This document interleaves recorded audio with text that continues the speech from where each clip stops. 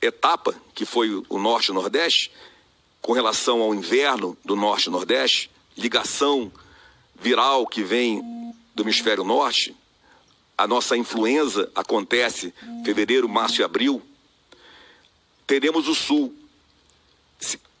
com a nossa influenza que acontece junho, julho e agosto. Por isso que as vacinas são em etapas diferentes. Nesse momento agora do Centro-Sul, como vai ser esse impacto? Na minha visão, na visão do Ministério da Saúde, esse impacto ele vai ser completamente diferente do Norte e Nordeste, por algumas razões. Houve uma preparação maior, mais tempo de se preparar, verificar como aconteceu no Norte e Nordeste e principalmente a curva de aprendizagem. Aprendemos muitas coisas.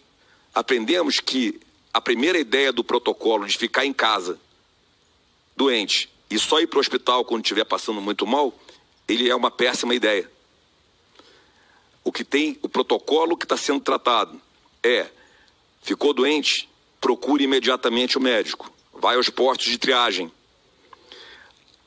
O diagnóstico é clínico, inicialmente, dos nossos médicos que têm condição de sobra de fazer os diagnósticos clínicos e de prescrever a melhor medicação.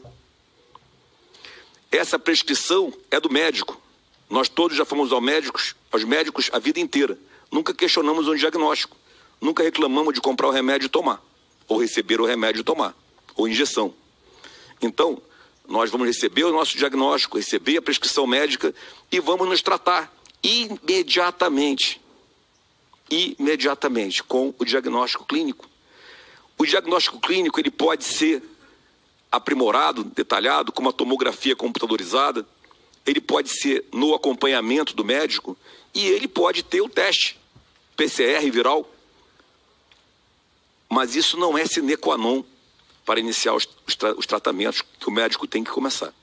Então, essa, essa curva de aprendizagem vai fazer com que a, o resultado da pandemia, agora na parte centro-sul do nosso país, ela seja realmente diferente e permita que a gente continue focado na manutenção do funcionamento das estruturas, na manutenção do funcionamento da nossa economia, que é isso que tem que acontecer.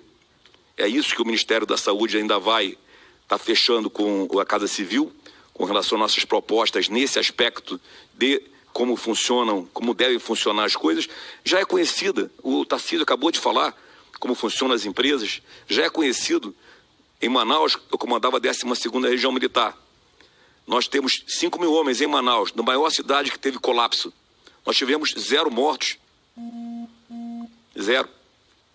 E as pessoas moram na cidade, nas áreas mais carentes também da cidade. Agora, é triado todos os dias, acompanhado pelo médico todos os dias, todo dia tem que ir para o quartel trabalhar, todo dia tem que ser observado e acompanhado para o médico se precisar se tratar. Zero mortes. Então, tem que pensar nisso, né?